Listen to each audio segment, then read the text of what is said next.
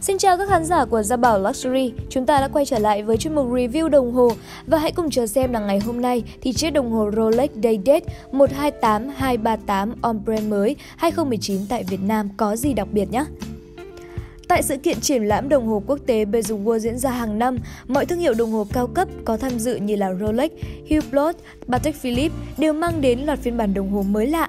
Thông thường, khách hàng sẽ có thói quen phản ứng ngay với một thiết kế mới ra, khen và chê đều có. Trong năm nay, thương hiệu đồng hồ Rolex hướng sự quan tâm của khách hàng vào khá nhiều thiết kế thuộc bộ sưu tập GMT Master, Jazz Master và cả Day-Date nữa. Nếu với bộ sưu tập GMT Master, Rolex giới thiệu tới công chúng một phiên bản đồng hồ Rolex Batman bằng thép không dỉ đi kèm với dây Jubilee khiến toàn thể khách tham quan trở nên ngỡ ngàng, thì với Day-Date, thương hiệu này lại tạo ra khá nhiều phiên bản khác nhau.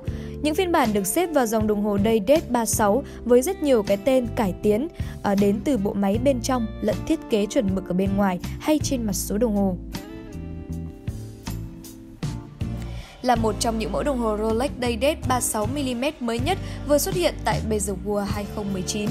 Phiên bản có mã tham chiếu là REF 128238 với mặt số ombre xanh lá đã chính thức có mặt tại Việt Nam trong tháng 8. So với việc nhìn ngắm mẫu đồng hồ này qua lớp kính tại gian trưng bày của Rolex trong Bezel World, Thụy Sĩ, thì việc trải nghiệm lên tay trực tiếp đối với gia bảo Luxury ấn tượng và thú vị hơn rất nhiều.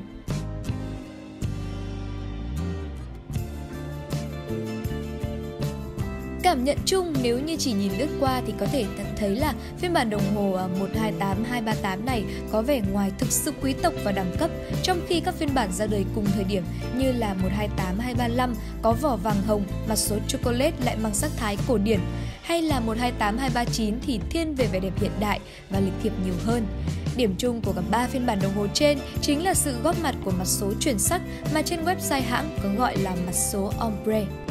Theo quan điểm cá nhân thì tôi thừa nhận rằng cách phối hợp màu sắc trên cả ba phiên bản đồng hồ này thực sự hợp lý và hai màu sắc vàng kim cùng xanh lá trên phiên bản 128238 ngày hôm nay đã hoàn thành trách nhiệm bổ sung cho sự rực rỡ cho nhau.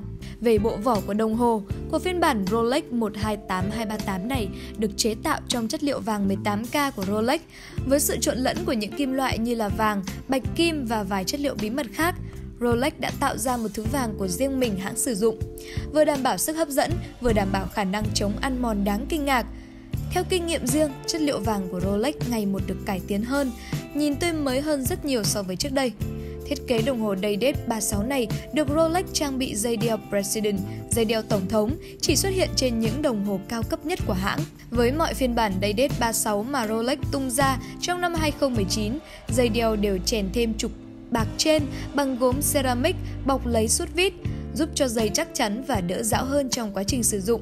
Những thanh gốm ceramic này có màu trắng, rất cứng và ôm chặt vào suốt dây. Hiện tại thì kỹ thuật tiến bộ này mới được phổ cập trên dây đeo President, còn dây đeo Jubilee hay là Oyster thì chưa thấy có. Ngoài những điểm thay đổi về dây đeo, Rolex thậm chí đã điều chỉnh một phần nhỏ kích thước càng nối dây hay bộ vỏ khung để phù hợp với bộ máy bên trong mỗi đồng hồ.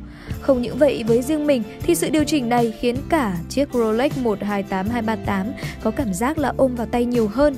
Những biến đổi này là rất nhỏ mà nếu như chỉ nhìn đơn thuần một mình phiên bản Rolex Daydate 128238 sẽ khó có thể nhận ra. Những chi tiết được giữ lại là thiết kế vành benzo chia khía sáng bóng, cách thức hoàn thiện vỏ khung hay phần nắp đáy kín mít, đảm bảo khả năng kháng nước của chiếc đồng hồ giữ ở mức 100m tiêu chuẩn. Thương hiệu Rolex cũng giữ lại thiết kế khóa vương miện cũ trong phiên bản đồng hồ Rolex Day-Date 36 mới mà không trang bị thiết kế khóa mới tương tự dòng Desert 36. Theo form thiết kế cũ thì khóa trên chiếc đồng hồ này sẽ có tác dụng về mặt thẩm mỹ nhưng nhược điểm là không thể nới rộng cũng như là thu hẹp dây đeo. Hãy cùng tìm hiểu về mặt số chiếc đồng hồ này. Bên trong vỏ khung vàng chắc chắn là mặt tròn, của phiên bản Rolex Day-Date REF 128238. Các sự chuyển sắc được thiết kế kỹ lưỡng tạo nên cái nhìn hấp dẫn mà chúng ta có thể tìm thấy khá nhiều concept tương tự trong làng chế tác. Rolex gọi dạng mặt số này là ombre, sáng ở trung tâm và tối dần khi chạy về ngoài viên. Còn với thương hiệu Hatmojer C lại đặt tên riêng cho mặt số này là Fume. Khi nhìn ra thành phẩm sẽ thấy đơn giản, thế nhưng ít ai biết rằng kỹ thuật chế tác mặt số đồng hồ chuyển sắc luôn gặp phải vô vàn khó khăn, đặc biệt trong khâu kiểm soát nhiệt độ. Và thực sự là khi mà nhìn vào mặt số thì đa số khách hàng của chúng tôi đều tưởng tượng nó được cắt ra từ một khối ngọc lục bảo. Đó là biểu tượng may mắn của người Trung Quốc, rất đẹp. Và nếu như mặt số xanh này được Rolex ứng dụng trên phiên bản Day Date 40 có thể còn đặc sắc hơn nữa. Một khác biệt lớn nhất ngay trên mặt số của chiếc đồng hồ này chính là logo vương miện xen giữa hai chữ Swiss Made tại góc 6 giờ đồng hồ. Ký hiệu này xuất hiện trên mọi chiếc đồng hồ Rolex được tích hợp dòng máy mới thuộc đại gia đình 32XX.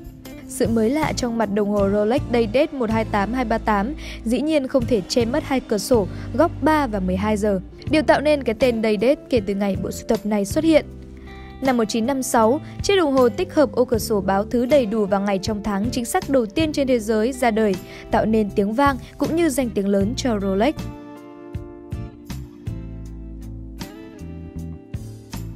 Về bộ máy đồng hồ thì sao? Trải qua hơn 60 năm hình thành và phát triển thì Daydate hiện là bộ sưu tập biểu tượng của Rolex. Phiên bản Daydate 36 trong năm 2019 đã chính thức được nâng cấp với bộ máy 3255 cải tiến thay cho Caliber 3155 trước đây. Với bộ máy mới thì mẫu đồng hồ này có thể hoạt động chính xác trong khoảng 70 giờ đồng hồ bền bỉ với sai số được chứng nhận bởi tổ chức COSC là trừ 2 trên cộng 2 giây một ngày. Caliber 3255 thuộc thế hệ bộ máy cung cấp năng lượng hoàn toàn mới của Rolex, hiện đã được tích hợp với 14 bằng sáng chế sáng chói về mặt kỹ thuật, điểm tạo nên sự chính xác ưu việt. Khả năng dự trữ năng lượng vượt trội cùng với độ tin cậy hay chống sốc tuyệt vời đi kèm với khả năng hiệu chỉnh thời gian ngày một đơn giản.